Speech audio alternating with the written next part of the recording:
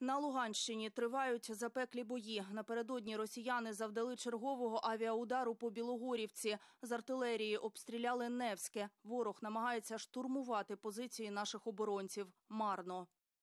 На Луганщині росіяни зазнають значних втрат. Підрозділи втрачають боєздатність, що призводить до постійних ротацій. Там, де не вистачає кадрових військ, на штурм йдуть бойовий армійський резерв, ув'язнені та представники інших приватних компаній. Це Бахмутський напрямок прилетіло по позиціях окупантів. А це кадри третьої штурмової з замінованими лісосмугами. Поступово, проте результативно наші оборонці рухаються уперед.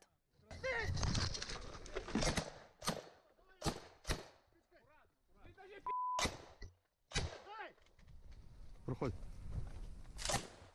Тихо, тихо, тихо, тихо. На Бахмутському напрямку противник вів безуспішні наступальні дії в районах східніше Білої гори та Турецька Донецької області. Завдав авіаційних ударів в районах Кліщіївки та Андріївки Донецької області. На Мар'їнському напрямку сили оборони продовжують стримувати наступ російських військ в районах Мар'їнки та Красногорівки Донецької області. На Авдіївському напрямку наші оборонці зафіксували живу силу та техніку противника і влучно вдарили. Напередодні окупанти відкрили вогонь по житловому кварталу Авдіївки, поцілили в крамницю, де перебували мирні мешканці. Приехали в магазин, начали разгружать машину, и примерно где-то в 12.20 начался обстрел.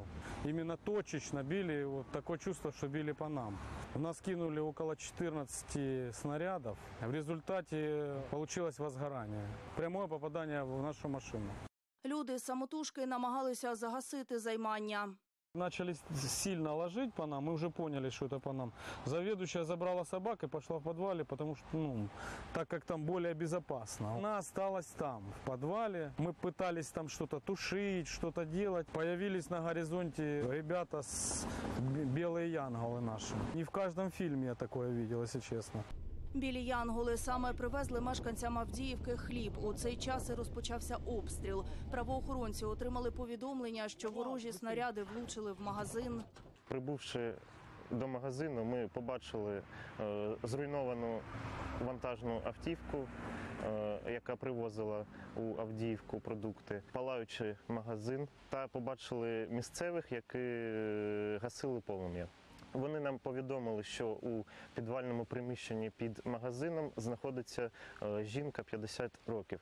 Е, Здійснився обвал будинку, і їй заблокувало вихід. Зрештою, до бідолашної вдалося дістатися. одягнули протигази, е, але не змогли пройти через полум'я. Тому вирішили зробити інший прохід е, через підвал. Проби- Пробили разом з мешканцями будинку е, інший прохід та звільнили цю жінку.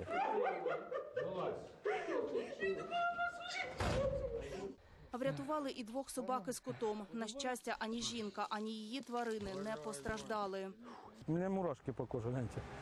Могут выполнять и роль, роль полиции, и роль в- в МЧС. Это, ну, мне кажется, это отважно.